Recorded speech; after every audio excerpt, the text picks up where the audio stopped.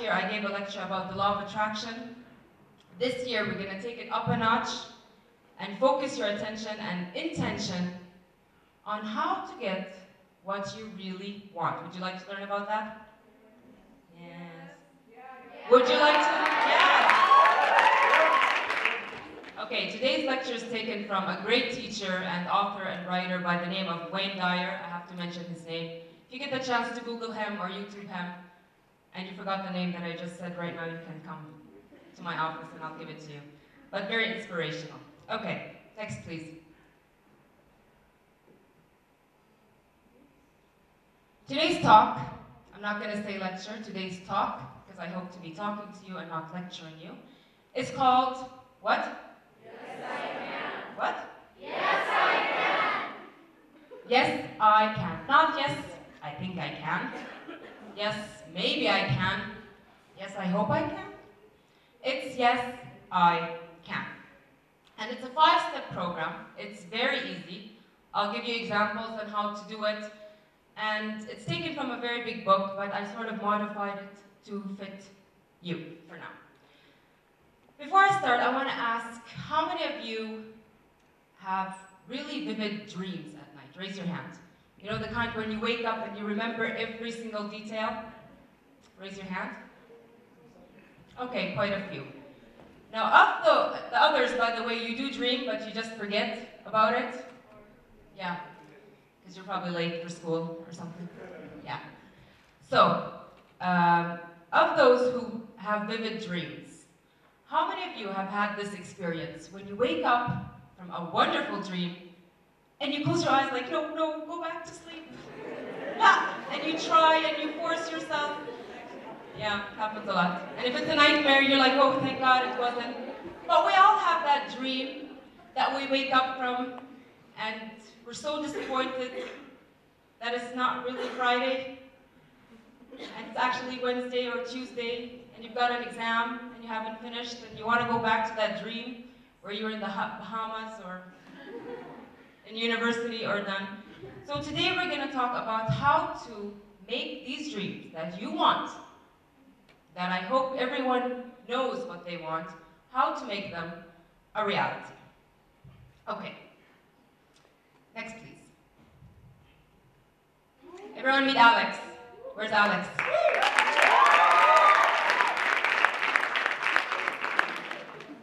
Okay, as you can see up here, it says, be normal, but not ordinary. Confusing, right? Isn't normal ordinary or something? Oh, okay. The genes. He's half Russian.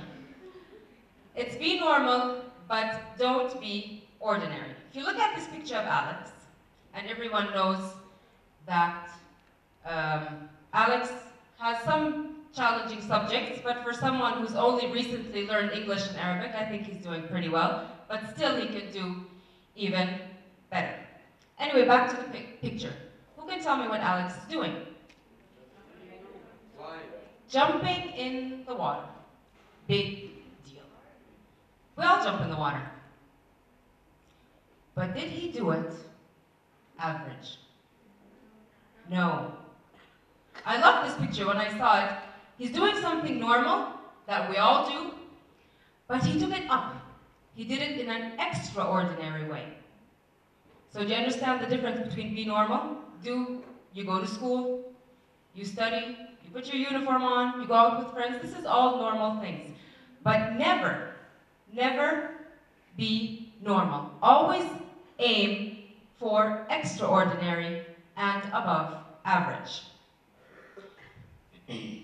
now, examples of things that you do every day is, like I said, going to school, studying. It's your choice if you want it to be average. But for today, I'm going to say be normal, do normal things that everyone else does, but don't be ordinary. Now, one of the things, next please, uh,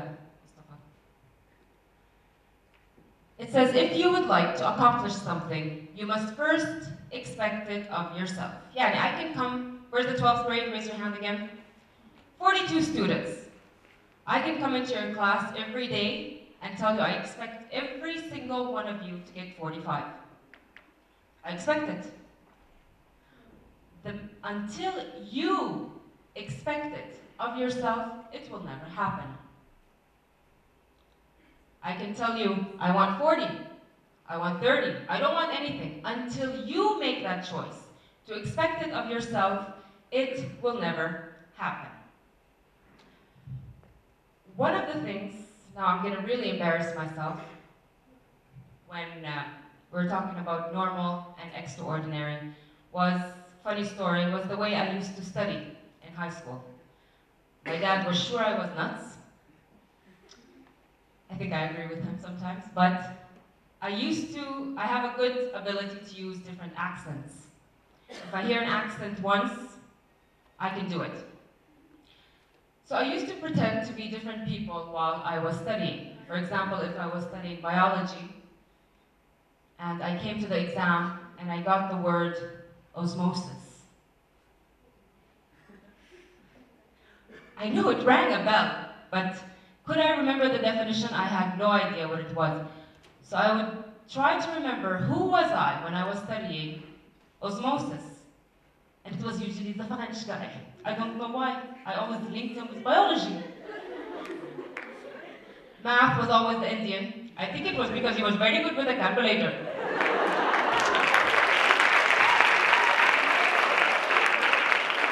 Don't ask me why. I might have been borderline schizophrenic, but it worked. So one of the things I did to remember things was use different accents. Like I said, my dad would be at the door. Can you imagine listening to this behind the door? It's like, I'm She's getting good grades, leave her alone. This is what worked for me. I took something normal, which is studying, and I took it to extraordinary. My way. Just like when Alex was jumping in the pool. He did something ordinary, but he did it his way.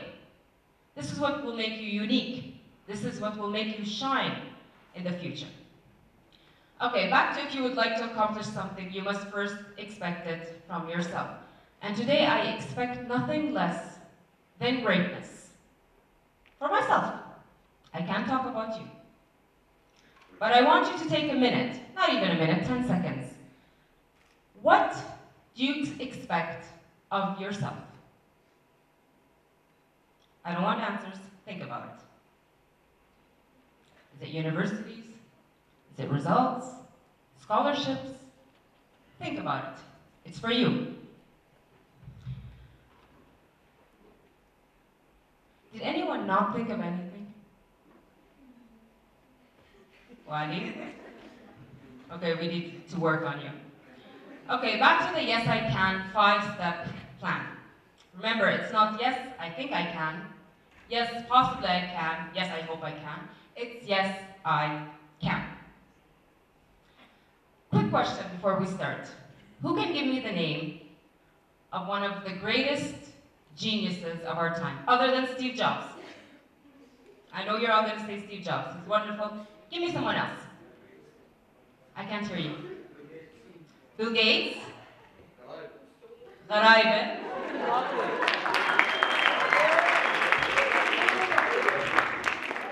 Who else?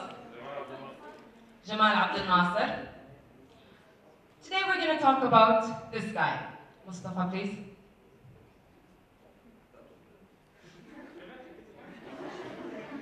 Einstein obviously had a wonderful sense of humor. He could have been an IB Learner Profile student.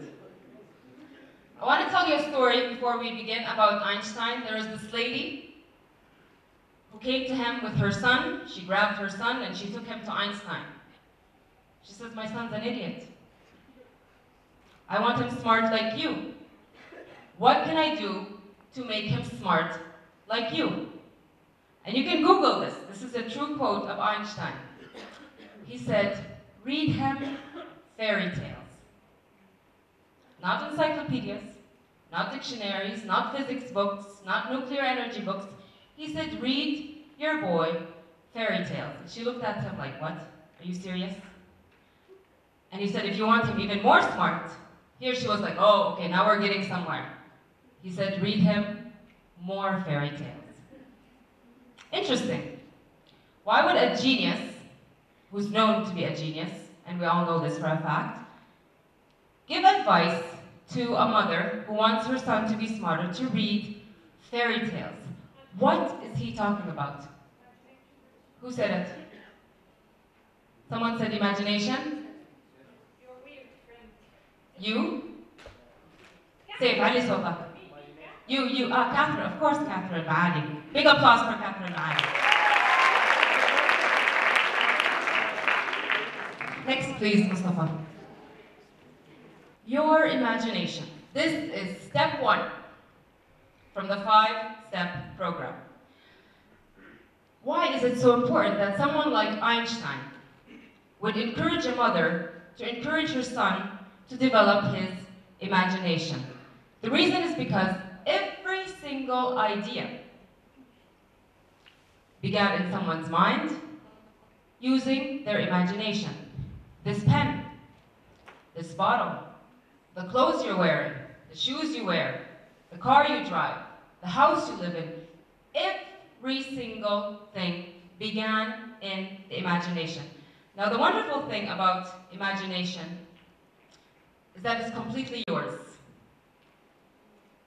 You are in complete control of your imagination. Can you understand how powerful that is? That is the only thing that you have complete control of. I can tell you to walk in the corridors and not run. The school can tell you what to wear. Your mom can tell you what to eat. I mean, honestly, miss, how many of you have gone home and your mom had made something like bamia, zayt, and you said, Mama, I don't like bamia. And she's like, هذا موجود. ما بدك ما تاكل. It happens all the time. So you have to eat what she made. So you have very little control. Eventually, as you grow, you'll have more control. But the one thing that no one can take away from you, that no one can interfere with, is your imagination. So today's step number one is imagination. I want you to learn how to use it as much as possible and to master it. Imagination, with imagination, everything is possible. Okay, slide number two, please.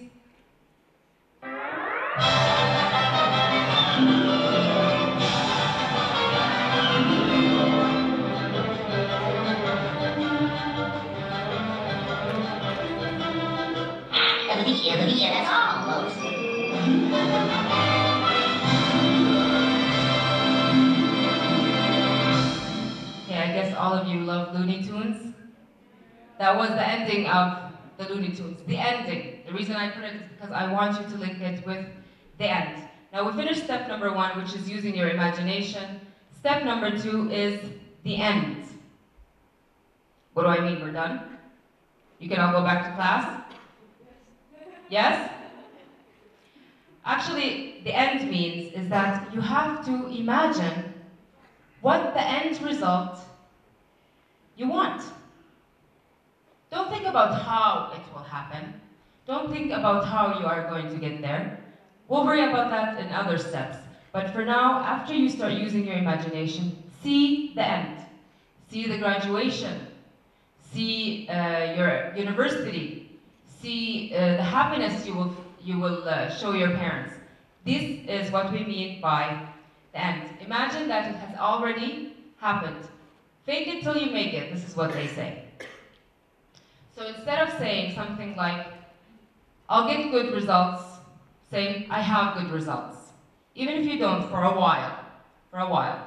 Now, we had a student a year or two years ago, and I called him into my office, and I'm like, Miss, I have your report card. It's all zeros. I swear they were all zeros.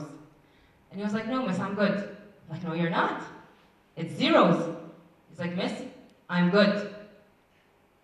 And I don't know what it was about the confidence or the way he spoke. He was seeing the end. He's like, No, I know I'm, I'm good. I'm done. I'm passing. I'm good. He didn't see the zeros. He only saw the end result. And as we go on, I'll tell you more about the story. So step number one was, like I said, use your imagination. Step number two was see the end. Focus on it as much as you can. Next,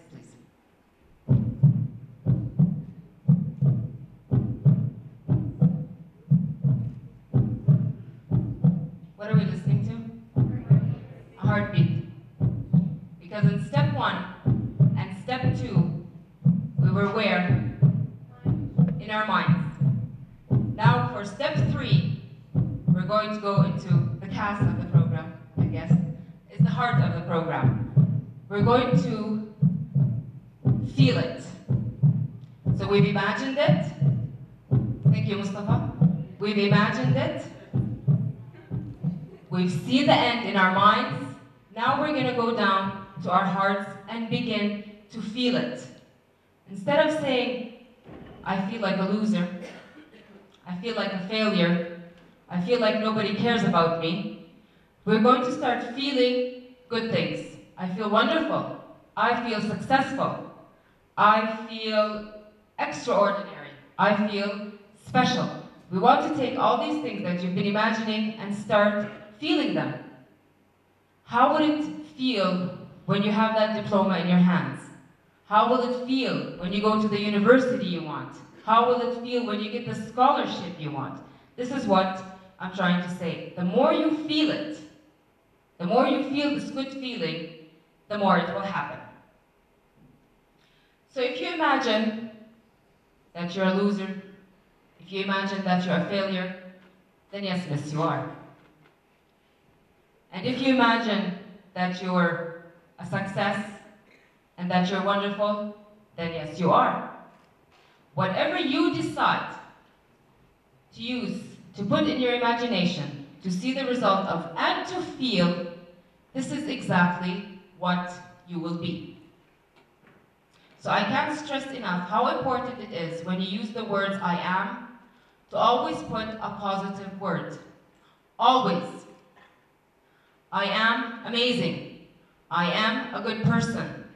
I am a wonderful friend. Always put a positive word. Stop yourself. Sometimes you do get into this negative thing. The minute that happens, stop and go switch to the positive. So imagine, see the end, and feel the reality that you want. The more you do this, the more it will become a habit. The more you do this, the more it will become a habit and a part of your um, nature, let's say, personality. One of the things that I like to compare feelings with is a key. Your feelings, the way you feel, if something feels bad, this is your key. If something feels good, this is your key. Like a radio dial, if you're sitting in the car, like the other day I was with my sister, and she was listening to some weird stuff, I don't know what it is she listens to, and I started to feel irritated. I just wasn't okay. And suddenly it hit me that it's the music that's bothering me. So what did I do? What did I do? I turned it off, or I turned the dial to a channel or a frequency that I like. Immediately I relaxed, and we enjoyed the ride in the car. But compare your feelings to this radio dial. Whenever it feels bad, switch it. It's a conscious decision in the beginning, but with time, you will get used to it. It starts happening immediately. You stop accepting anything that might bother you. Okay, clear till now? Okay, do you understand how important your emotions are, how much you should be in control of them? Okay, now I see some of you are beginning to relax. Like, whoa, this 45 with the IB is going to be a piece of cake. All I have to do is imagine, see the end, feel it, I'm good, I'm done. Remember I said it's a five-step program? Step number four, next please.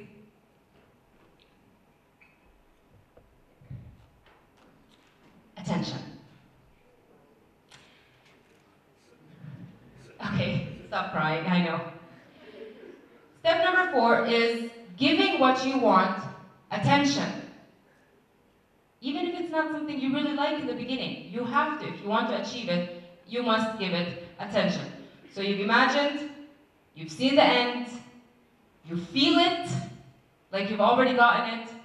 Step number four is giving it attention. Yes, you do have to open your books. Yes, you do have to pay attention in class. It is part of it. But the part about attention is some of you um, don't like studying. Most of you, maybe, hopefully not. You have to make it a habit of giving what you want attention. For example, I'm the kind of person I can't sit still for more than half an hour. After half an hour, I have to get up and move around and get a glass of water or something. The first day when I want to study, خلاص, I've made my mind, I feel it, I see the end, I can imagine it. I sit down for five minutes. The next day, I sit down for 10 minutes. The day after that, I will sit down for 15 minutes. Every time I give what I have to do attention, the more it becomes part of my personality and my daily routine. So, if you're up to half an hour now, make sure that by next week you're up to 45 minutes. After the 45 minutes, you're up to an hour, and so on and so on. You keep building on your achievements.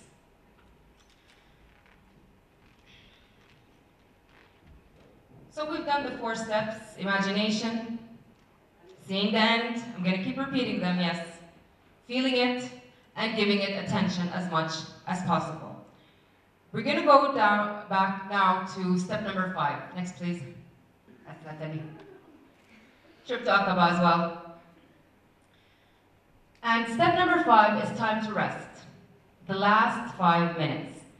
Now you might think the first four steps are really important, and they are, but step number five, in my opinion, is one of the most important steps of the five-step program, because it's the fifth step, and it's the one that will sort of seal the cap on all the other four steps.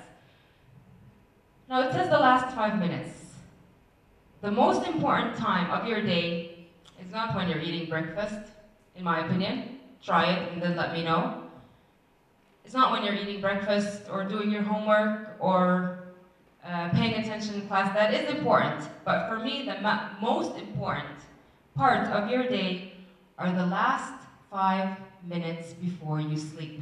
Do you know that time when you're just like between asleep and waking up, when you're drifting off? Those five minutes are the most important part of your day. We're gonna go back to, remember when I asked you about dreams and how many of you wanna capture those dreams sometimes and you go back to sleep? In these last five minutes, this is how you can do it. First of all, when you're sleeping, your conscious mind and your body and your senses, everything is asleep. But the minute you go into that state of physical sleeping, there's a part of you that is so busy, you can't even begin to imagine. Which part of you is that? The brain, but which part of the brain? The subconscious mind. You know what the subconscious mind? That's the part of your brain that sort of works on autopilot, that you don't really have to think about, like when you're going to your uh, friend's house do you actually think every single time, okay, I have to go right and then I have to go? No, you just go. This is part of your subconscious mind, the part that just works automatically. Now, when you're asleep for eight hours, nine hours, whatever it is, this is when your subconscious mind is working. This is when it's processing everything that you told it. So in the last five minutes, before you sleep, instead of telling your mind and your subconscious mind, I hate my life. I've never done well in school. I can't believe she blocked me from Facebook. All these things, instead of telling your mind all these negative things, the last five minutes of your day before you sleep, tell your mind everything positive. Everything that you want, everything great that you have done, even if it's a small thing, even if it's I studied today for 10 minutes. For some people, that's a lot, unfortunately. Tell your mind all the good things that you have and fall asleep.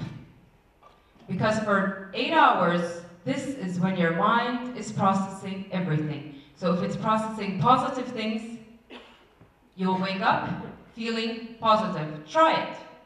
And if you give your mind negative things, to feed on and to process at night, that's exactly how you wake up, negative. Imagine that these thoughts that you're giving your mind in these five minutes are like money. Imagine I gave every single one of you now a thousand JDs. Don't imagine too much, but yani, you get the idea. I gave you money and I told you, go to the mall and buy stuff. Would you actually go to the mall and buy things you don't want? No. Everyone is going to go to the mall and buy everything they do want. The clothes they want, the shirt they want, the shoes they want. How many, I don't think anyone will go and just buy stuff that they don't want. This is what you're doing to your mind every night if you're giving it negative information. You're giving your mind, you're giving your body, you're giving your personality all the things you don't want. And then you wonder why nothing is working out. So, the last five minutes before you sleep, please, starting tonight, before you fall asleep, just for those few minutes, remind yourself of all the good things you did. Remind yourself about all the wonderful blessings you have, the good friends you have, the health you have, the family you have. Remind yourself about all these good things every single night. I mean, I don't want to wake up thinking about negative things or my mind to process negative things. I only want positive. It's up to you, but I urge you strongly to start tonight. So we've done the five steps. Imagination, and then see the end, feel it, give it attention, time to rest. The last five minutes. Now, some of you are gonna come to me probably, or some of you sometimes do, and they're like, next one, please. It's not working. It's not working. I'm trying, I'm imagining, I'm seeing the end, I'm feeling it, I'm giving it attention. I think about it for five minutes, but it's not working. What's going on? What is going on? Next, please. I'll ask you one question when this happens to you is, does it feel natural? Does it feel natural? Whatever it is you're asking for, if it doesn't feel natural to you, then we just, we can't feel it, we can't imagine it, and you will not get the results. For example, if someone is getting 20s in his IB, and suddenly he's just like, Miss, I'm trying to imagine a 45 and it's not working. Nah, really. Surprise, surprise. I'll ask, does it feel natural to you? Most probably he's going to say no. So we'll break it down, sort of like an extended essay. We try to focus it more and more. We'll break it down to, okay, what does feel natural to you? He might tell me, a 25. From 20 to 25, that's pretty good. He'll get his diploma. So we'll start working on the 25. We'll start working only on what feels natural. If it doesn't feel natural, it's not going to work. So he got the 24. He's feeling good about himself. He's feeling more confident. He's more excited. I'm like, okay, now, do you have another aim? He's like, yes, I want 28. We'll start the process again, imagining the 28, seeing the 28, feeling how it will feel when he gets the 28, giving it attention, even more attention. Remember when I told you attention, you start for 10 minutes, you get a 20. You study for an hour, you might jump up to 24. You study for two hours, you will get the 28, and so on, and so on. So the point I'm trying to make is with this whole thing to work, it has to feel natural. Make it realistic, and really stick to it. Number one, work on your imagination, not just with the IB. You need to practice it. It's like a muscle. Imagine things. I talk to myself all the time. I shouldn't have said that. Maybe I didn't. Yes, I did. Okay. So, imagination. See the end. Don't worry about how you will get there. You will get there, just like the IB profile. We didn't tell you in grade 11, oh, you're going to have to do this and be knowledgeable and be a thinker and be a communicator. It just happened with time, with practice. Number three was you have to feel it where? In your heart. By saying, I am wonderful. I am great. I am successful. Keep reminding yourself over and over. Number four. Number four. Thank you. Number five, the most important, the cap on all the steps is the last five minutes. Don't go to the mall and buy things you don't want. Go to the mall, buy everything you do want. Tell your mind exactly what it is you wanted. Okay. Before we end, and yes, we're coming to an end, um, I want you to repeat three words for 10 times together. And every time you say it, I want it to be even more powerful. Who can guess what those words are? Yes, I can.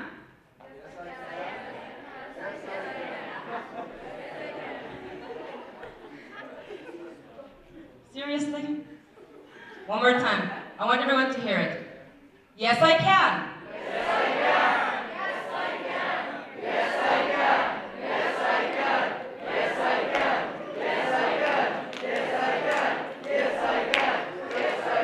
Yes, you can. Thank you, Miss.